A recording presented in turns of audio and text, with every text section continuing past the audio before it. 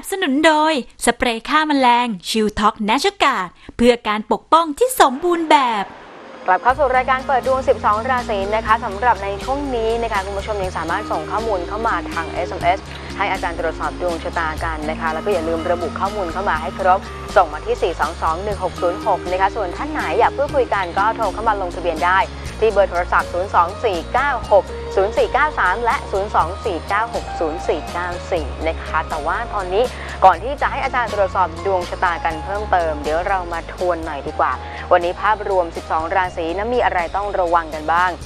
ชาวราศีมังกรนะคะ วันนี้ในเรื่องของหลักทรัพย์เงินทอง มีโอกาสไปเกี่ยวข้อง หรือว่าพัวพันกับสิ่งที่ไม่ถูกไม่ควรนะคะ ส่วนในเรื่องของหัวใจก็ต้องระวังค่ะวันนี้อาจจะต้องเดือดร้อนเพราะเรื่องของชาวบ้านนะฉะนั้นเลี่ยงได้เลี่ยงจะดีกว่า เน้นโทนสีชมพูหลีกเลี่ยงสีเลือดหมูค่ะชาวราศีกุมนะคะ วันนี้ในเรื่องของหัวใจให้ระวังเรื่องที่ไม่ได้คาดคิด หรือว่ามีโอกาสพลิกผันในความสัมพันธ์ได้นะคะ ส่วนในเรื่องของงานนะคนที่คิดการใหญ่ไม่ว่าจะทำอะไรก็แล้วแต่ลองหาพวก ลองหากลุ่มอย่าลุยเดียว เน้นโทนสีชมพูหลีกเลี่ยงสีฟ้าค่ะชาวราศีมีนนะคะในเรื่องของหลักทรัพย์เงินทองนะคะ วันนี้คนจะทำธุรกรรม เน้นการทำธุรกรรมผ่านบุคคลอื่นจะดีกว่า ลุยเองเนี่ยอาจจะไม่ประสบความสำเร็จได้นะคะ เน้นโทนสีแดง หลีกเลี่ยงสีม่วงค่ะ ชาวราศีต่อมาราศีเมษนะคะ วันนี้ในเรื่องของหลักทรัพย์เงินทอง ให้ระวังมีปัญหากับบุคคลที่เกี่ยวข้อง ไม่ว่าจะเป็นเพื่อนฝูงบริวารนะหรือว่าคนร่วมงานนะคะฉะนั้นเรื่องของสิทธิประโยชน์ ต้องบอกว่าไม่เข้าใครออกใครจริง ๆนะคะ ส่วนในเรื่องของหัวใจ คนที่มีคู่อยู่แล้ว ระวังจะเจอกับรักแทรกรักซ้อน เน้นโทนสีน้ำตาล หลีกเลี่ยงสีขาวค่ะ ชาวราศีพฤษภนะคะ วันนี้ในเรื่องของหลักทรัพย์เงินทองนะก็วันนี้มีโอกาสได้พูดคุย มีการเตรียมการทั้งเรื่องของการขยายบ้านหรือว่าเรื่องของรถนะคะ ส่วนในเรื่องของงานวันนี้ก็ถ้าเตรียมตัวมาดี ทุกอย่างก็สามารถเป็นไปตามแผนงานได้ เน้นโทนสีเขียวหลีกเลี่ยงสีม่วงค่ะชาวราศีเมถุนนะคะวันนี้เรื่องของหลักทรัพย์เงินทองดูเหมือนว่าจะไม่ค่อยเด่น โดยเฉพาะการริเริ่มสิ่งใหม่ ๆ ที่สำคัญ ระวังปัญหาเรื่องของสุขภาพ แล้วก็อุบัติเหตุด้วยนะคะดูแลตัวเอง แล้วก็ขับรถขับราอย่างระมัดระวัง เน้นโทนสีบรอนเงินหลีกเลี่ยงสีดำค่ะ ชาวราศีกรกฎนะคะ วันนี้ในเรื่องของงาน แม้ว่าสิ่งที่คิดเอาไว้มันยังไม่ได้เป็นรูปธรรม ก็ขอให้พยายามต่อไปนะคะ ส่วนในเรื่องของหัวใจอย่าไปคิดเยอะค่ะ ให้ว่ากันวันต่อวันจะดีกว่า เน้นโทนสีเทาหลีกเลี่ยงสีม่วงค่ะ ชาวราศีสิงห์นะคะ วันนี้เรื่องงาน ระวังการขัดแข้งขัดขาการขัดแย้ง การชิงดีชิงเด่นในองค์กรนะคะ วันนี้อาจจะมีคู่แข่งอาจจะมีศัตรูมากหน่อย ส่วนในเรื่องของหัวใจวันนี้ก็ไม่เด่น คนที่อาจจะเพิ่งเริ่มสารสัมพันธ์นะคะ วันนี้อาจจะต้องใช้เวลาแล้วก็พยายามให้มากขึ้น เน้นโทนสีน้ำตาลหลีกเลี่ยงสีกรมท่าค่ะชาวราศีกันนะคะ วันนี้ในเรื่องของงานสำหรับคนที่เจอเจอกับปัญหานะไม่ว่าจะเป็นเรื่องของงานหรือว่าสิ่งต่างๆ ที่เข้ามากระทบก็ให้มองเอาไว้ว่าอย่างน้อยก็ดีกว่า คนที่ไม่ได้ทำงานหรือไม่มีงานทำนะคะ ส่วนในเรื่องของหลักทรัพย์เงินทองวันนี้ ติดขัดค่ะ ขยับขยายค่อนข้างลำบาก เน้นโทนสีน้ำเงินหลีกเลี่ยงสีม่วงค่ะชาวราศีต่อมาราศีตุลนะคะ วันนี้เรื่องงานนะให้ระวังเรื่องของคำพูดการเจรจาเอาไว้บ้างนะคะ ส่วนในเรื่องของสุขภาพ วันนี้ก็ต้องดูแลตัวเองรวมไปถึงคนรักให้ดีเน้นโทนสีเลือดหมูหลีกเลี่ยงสีเหลืองค่ะชาวราศีพิจิกนะคะวันนี้ในเรื่องของหัวใจ วันนี้คนที่มีครอบครัวระวังมีปัญหากับผู้หลักผู้ใหญ่นะคะ ส่วนในเรื่องของหลักทรัพย์เงินทอง วันนี้ก็มีโอกาสตัดสินใจผิดพลาดเนาะฉะนั้นวันนี้ก็ต้องคิดให้ดีคิดให้รอบคอบ เน้นโทนสีเหลืองเข้มหลีกเลี่ยงสีชมพูค่ะ สุดท้ายชาวราศีธนูนะคะ วันนี้เรื่องงานอย่าใช้อารมณ์เป็นที่ตั้ง ทุกอย่างต้องดูในเรื่องของเหตุและผลด้วยนะคะ ส่วนในเรื่องของหลักทรัพย์เงินทอง วันนี้ต้องรู้จักกระจายความเสี่ยงเอาไว้บ้าง เน้นโทนสีส้มหลีกเลี่ยงสีกรมท่านะคะ วันนี้ 12 ราศีไม่ว่าจะเป็นเรื่องของเงิน เรื่องของหลักทรัพย์เงินทอง ดูเหมือนว่าหลาย ๆ อย่าง ยังไม่ค่อยเข้าที่เข้าทางนะไม่ว่าจะเป็นเรื่องปัญหาอุปสรรคต่าง ๆ ก็แล้วแต่นะคะ ส่วนใครฟังไม่ทันทวนซ้ำเพิ่มเติมได้เลยนะเข้าไปกดถูกใจเข้าไปคลิกไลค์กันได้ที่ Facebook Fanpage นะคะ Miracle Channel TV นั่นเองค่ะ ส่วนตอนนี้คุณผู้ชมสามารถส่งข้อมูลเข้ามาทาง SMS แล้วก็อย่าลืมระบุข้อมูลเข้ามาให้ครบ ใครต้องการตรวจสอบลัคนาราศีบอกด้วยนะคะ ว่าตัวเองเกิดที่จังหวัดไหน ช่วงเวลาประมาณเท่าไหร่นะคะ ส่งมาที่ 422-1606 มากันที่ SMS กันต่อเลยค่ะ คุณเอค่ะ 29 พฤษภาคม 2509 เวลาเกิด4ี่ทุ่มสินาทีวันอาทิตย์บอกว่าขอเปลี่ยนไตไว้กับที่โรงพยาบาลจะได้เปลี่ยนหรือเปล่า ครับทำบุญอะไรดี สี่ทุ่มสิบนาที ความจริงในช่วงอายุย่าง 50 เนี่ย มีเกณฑ์ในเรื่องของการรักษาการผ่าตัดมีนะครับฉะนั้นก็ต้องตอบว่ามีโอกาส เพียงแต่ว่ามันมีปัจจัยลบที่มาสัมพันธ์ถึงเหมือนกันนะในช่วงปีจรนี้เนี่ยสักครู่นะครับ ของคุณณขณะนี้พระเสาร์เข้าเสวยอายุนะครับ ถ้าเป็นไปได้เนี่ยช่วงนี้เลย ให้คุณไปเช่าพระปางนาคปลกมาบูชา ถ้าไปศิริราชได้ก็น่าจะอยู่กรุงเทพนะครับนะที่วัดนาคปกภาษีเจริญก็ได้นะอัญเชิญมาบูชาที่บ้านเขียนชื่อนามสกุลวันเดือนปีเกิดติดไว้ที่ใต้ฐานนะครับแล้วก็บริกรรมคาถาบูชาพระเสาวันละสิบจบ โสมานาคริถาโท และอาจจะบอกกล่าวหรือบนบานสิ่งศักดิ์สิทธิ์ที่เราเคารพนับถือก็ได้ ว่าขอให้สมหวังในเรื่องของการได้เปลี่ยนไตได้รับการผ่าตัดครับ SMS ต่อมาค่ะ คุณอดิตนะคะเกิดวันที่ 1 พฤศจิกายน 2512นะคะเวลาเกิด9โมงกว่า ลัคนาราศีอะไรก่อนเลยอะจังหวัดสุโขทัย9โมงกว่าวันเสาร์ถูกต้องเกิดสุโขทัย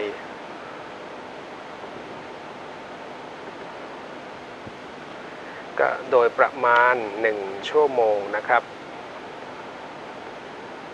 ลัคนาราศีพิจิกนะพิจิกช่วงนี้ก็ ต้องใช้ชีวิตด้วยความไม่ประมาท อาจจะมีภาระเยอะขึ้น ความเหนื่อยยากมากขึ้น แต่มันจะมาพร้อมกับสายความก้าวหน้าอะอย่างที่บอกคำว่าเป็นหัวหน้างานเนี่ยคือดาวพฤหัสยังให้คุณในเรื่องของงาน แต่เสาเนี่ยทับดวงชะตา อาจจะเป็นลักษณะเหนื่อยเรื่องงานภาระรับผิดชอบมากขึ้น ฉะนั้นผมอยากจะให้มองว่า 2 ปีนี้เป็นจังหวะที่เราจะได้พิสูจน์ฝีมือแสดงผลงานครับ SMS ต่อมาค่ะ SMS ต่อมานนะคะคุณบุษบากร 14 สิงหาคม 2539 นะคะเวลาเกิดบ่าย 2 โมง 9 นาที ถามเรื่องเรียน เรียนคณะอะไรดี วันพุธกลางวันนะครับ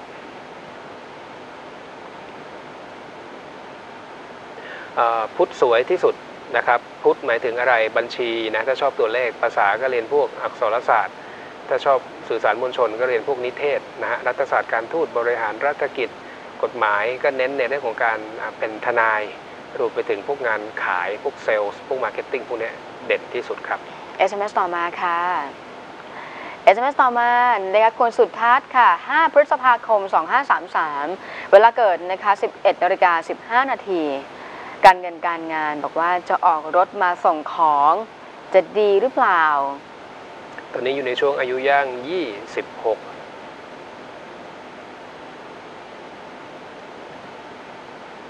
แหมความจริงปีนี้ยังนะยังไม่อยากให้ขยับอะไรเยอะนะครับเพราะว่าเกณฑ์ในเรื่องของงานเนี่ยไม่ค่อยดีและสภาพคล่องก็จะมีปัญหาด้วยนะฉะนั้นชะลอไปก่อนนะครับและช่วงนี้หาโอกาสให้คุณซื้อเป็นแก้วน้ำก็ได้ฮะสัก 15 ลูกถวายวัด SMS ต่อมาค่ะ คุณลีนานะคะ 18 มิถุนายน 2544 เวลาเกิด 11นาฬิกา9นาที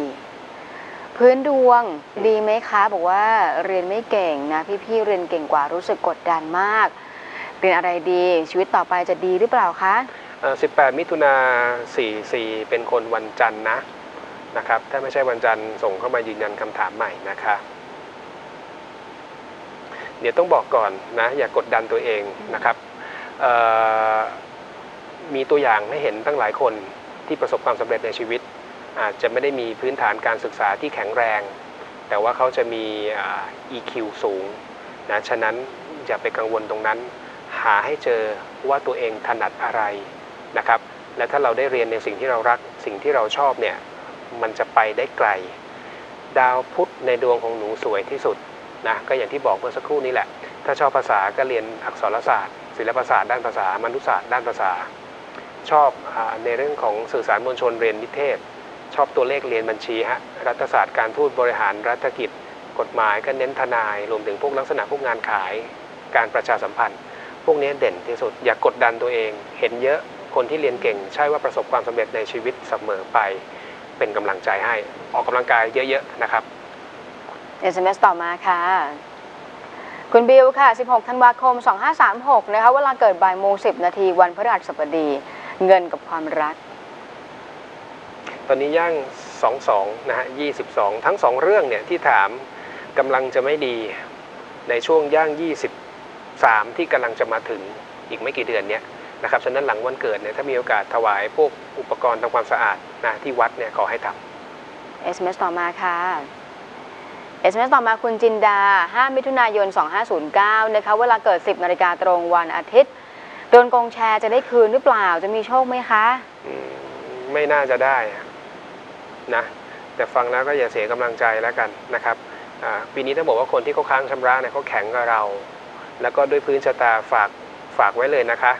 อย่าให้ใครขอยืม อย่าทำธุรกรรมแบบมีหุ้นส่วนเราเสียเปรียบตลอดนะฉะนั้นก็อ่าหนึ่งก็ของคุณเนี่ยดาวการเงินก็เสียด้วยมันโยงกันอยู่แล้วนะครับแล้วก็ฝากในเรื่องของของการมีเรื่องมีราวอุบัติเหตุนะปีนี้ผมผมว่าอย่าอย่าพยายามประทะจะดีกว่า ของคุณเนี่ยให้ซื้อของมีคมถวายพระสงฆ์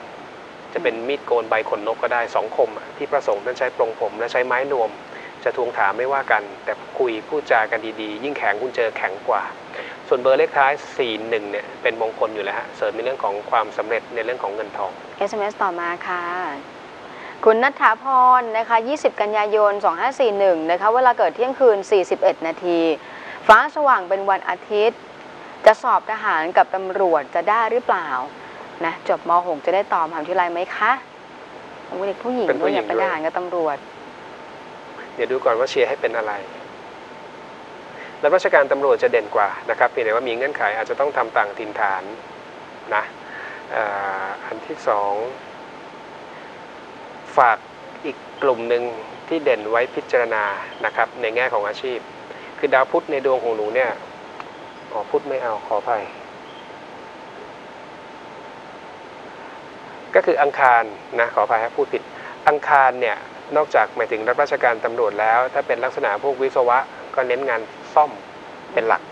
นะครับ ถ้าเป็นสายศิลป์เนี่ยเรียนรัฐศาสตร์ สอบพวกประหลัด นิติอายการก็ทำได้ เพียงแต่ว่าต้องเน้นต่างถิ่นฐานนะต้องเน้นต่างถิ่นฐานนะครับ เกณฑ์สอบแข่งขัน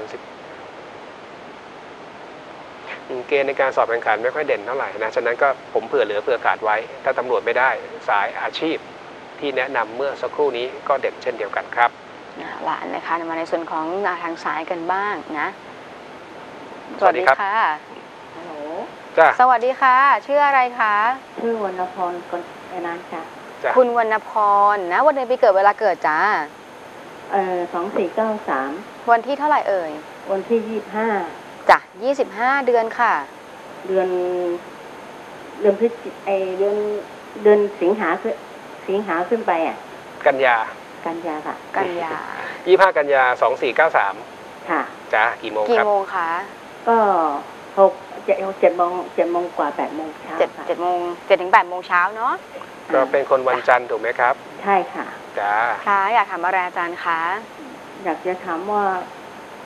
ปีนี้ทำไมเป็นหนูอยากมีโชคไม่อะไรไหมคะ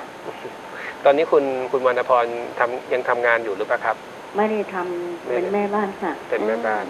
ค่ะ เอ่ออ่าถ้าไม่ได้ทำก็จะไม่เตือนเรื่องงานคืออย่างนี้นะครับ ของคุณวรรณพรตอนนี้อยู่ในช่วง 65 ถ้าเน้นในเรื่องการเสี่ยงโชคอย่างเดียวเลยเนี่ยนะ ค่ะก็ต้องบอกว่าด้วยพื้นดวงเนี่ยมันไม่ได้เด่นอยู่แล้ว เหรอคะนะฉะนั้นก็ไม่เชียร์แต่ว่าถ้า จะพอมีเป็นน้ำจิ้มบ้างก็คือเลยเข้าย่าง 56ไม่ขออภัยเข้าย่าง 66 ไปแล้วนะซื้อติดไว้สักงวดละใบไม่ว่ากันค่ะ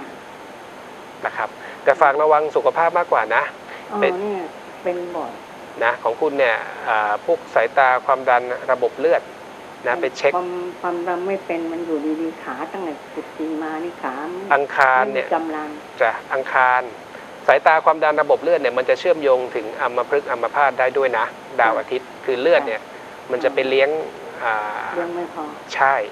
ฉะนั้นถ้ารู้สึกคืออย่างดาวอาทิตย์เสียเนี่ยคือมันไม่ต้องเป็นทุกโรคอย่างความดันไม่เป็นไม่เป็นไรอ่าแต่ว่ากล้ามเนื้ออาที่มันมีโอกาสจะสัมพันธ์ถึงหรือแม้กระทั่ง ถ้ารู้สึกว่าชาบริเวณประสาทปลายนิ้วเนี่ย ผมก็เป็นห่วงนะ ในเรื่องของพวกโรคหัวใจอ่าค่ะนะเหตุผลก็คือมันไขมันนั่นแหละอ่าไขมันในเส้นเลือด แล้วก็อ่าอาการพวกกล้ามเนื้ออักเสบพวกเนี้ยอืมก็จะมีในระยะยาวเหมือนกันนะของคุณนะเออนะฉะนั้นก็อย่าประมาท ถ้ารู้สึกว่ามันเริ่มจะไม่ค่อยมีเรี่ยวมีแรงเนี่ยให้ไปตรวจสอบนะครับก็นี่ก็หาหมอหมอนัดทุกเดือนค่ะ เออ ดีแล้ว ดีแล้วอืมจ้ะแล้วอยากจะถามเรื่องนั้นเพราะว่าที่หมอดูว่าเออก็จะมีท้องแต่งไป นี่ไปทำเสียไปตั้งสามสี่แสนยังไม่ได้เลยอะไรครับ ที่ว่าทำท้องอะทำท้องหมายถึงว่าทำมีน้อง เออ ไม่ไม่ได้เลยอะอ่าเกิดวันที่เท่าไหร่ครับ วันที่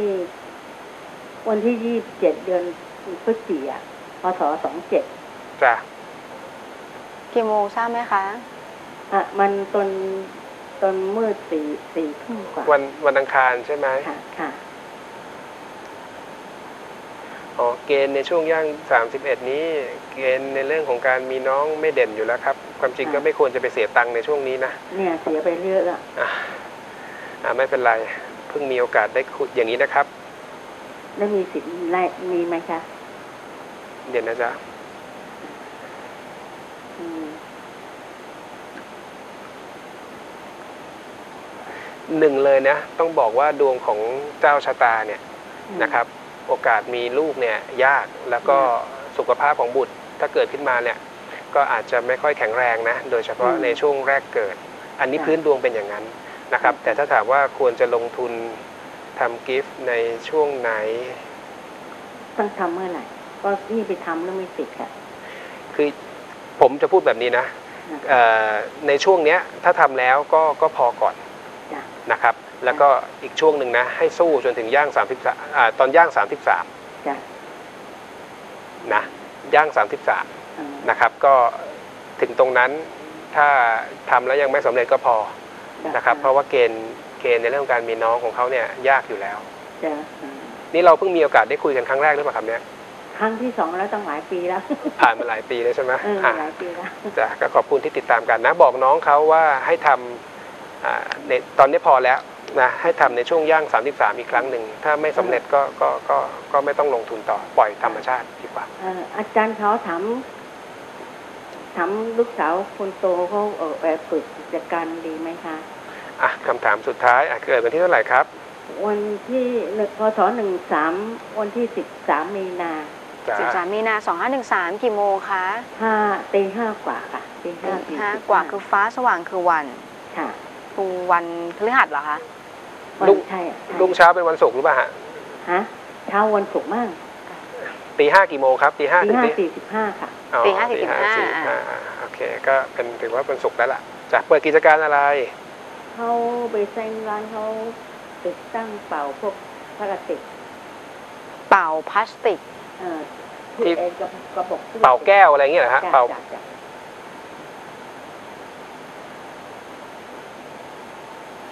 อืม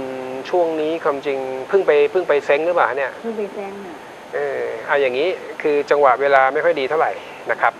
ก็เอาให้เขาเนี่ยไปบริจาคเงินที่สถาบันมะเร็งนะมูลนิธิเรื่องยาเสพติดนะครับ และปีนี้อย่าเพิ่งอ่าสต็อกของเยอะหรือว่าอย่าอย่าเพิ่งลงทุนเยอะค่อยๆ ค่อยๆ ปรับ ค่อยๆ ปรับ เกณฑ์เรื่องงานไม่ค่อยดีกลัวมันจะไม่ขึ้นทีคือตอนนี้มันก็ไม่ค่อยดีอยู่แล้วถูกไหมแล้วจะรอดไหมคะ เออก็อย่างที่ผมเรียนนะจังหวะมันไม่ดีอืม ก็ก็ไหนๆทำแล้วก็ต้องทำแล้วก็ไปทำบุญเสริมอย่างที่ผมเรียนน่ะแล้วก็อย่าลงทุนอย่าสต็อกของเยอะค่อยๆค่อยๆปรับนะของเขาเนี่ยทำงานด้านการขายดีกว่า ไม่ต้องลงทุนด้วย การขายก็ทำค่ะอ่าถ้างั้นก็อายึดตัวนั้นเป็นหลักค่ะไอ้พวกเป่าแก้วเดี๋ยวสุดท้ายก็เลิกทำเนาะอ่าเซลล์อะดีที่สุดแล้วมาถูกทางแล้วนะเออเออเออจ้ะโอเคนะครับขอบคุณค่ะจ้าอาจารย์สวัสดีครับขอณะสวัสดีค่ะ มาต่อกันที่ SMS นะคุณกมลค่ะ 28 กรกฎาคม 2529 เวลาเกิดทุ่มครึ่งวันจันทร์ถามเงินกับโชคลาภค่ะ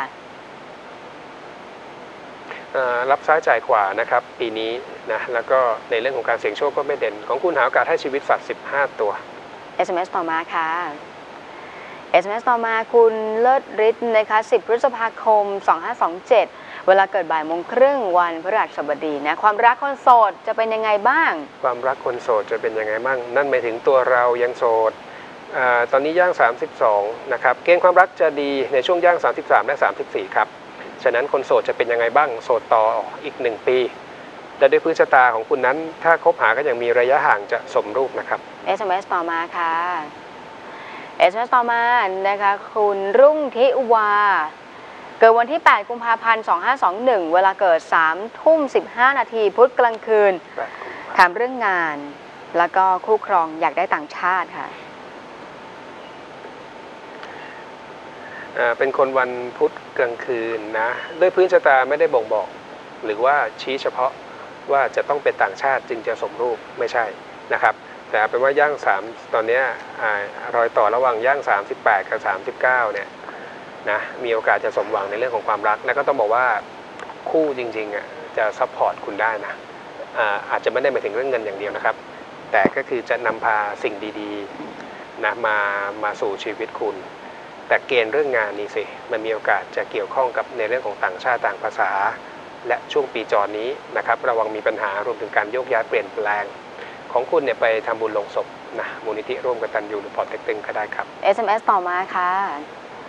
เจ้าของ SMS นะคะเกิดวันที่ 4 พฤษภาคม 2524 ค่ะ เวลาเกิดบ่าย 3 โมง 45 นาทีวันจันทร์ สอบแข่งขันทำงานไว้หลายที่